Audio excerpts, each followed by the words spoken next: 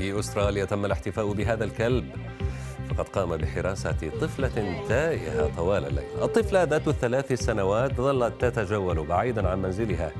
لكن ماكس الكلب الأصم ذو السبعة عشر عاما الذي يعاني أيضا من ضعف جزئي آه، أو عمى جزئي ظل يتعقبها ويحميها.